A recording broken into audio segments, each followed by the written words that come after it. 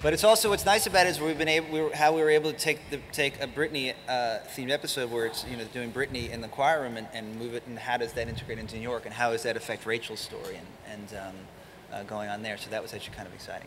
Uh, it's the second episode, uh, and it's hilarious. It's really funny, and it's um, there's a lot of Heather in it, obviously, because she's uh, Genius. Um, Lea really wants to sing Dancing on My Own. Oh, I wanted to sing Robyn. Yeah, Robyn.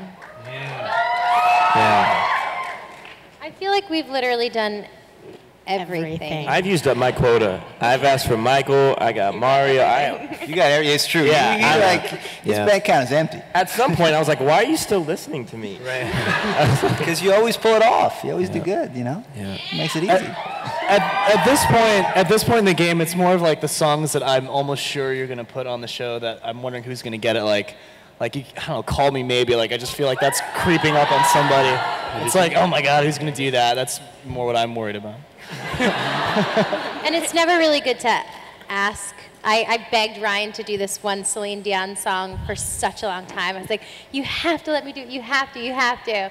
And then I get one of our last scripts for nationals, and he goes, "I gave you your Celine Dion song, and it was the wrong one." but I didn't want to tell him because I felt so bad. I was like, "Thank you so much."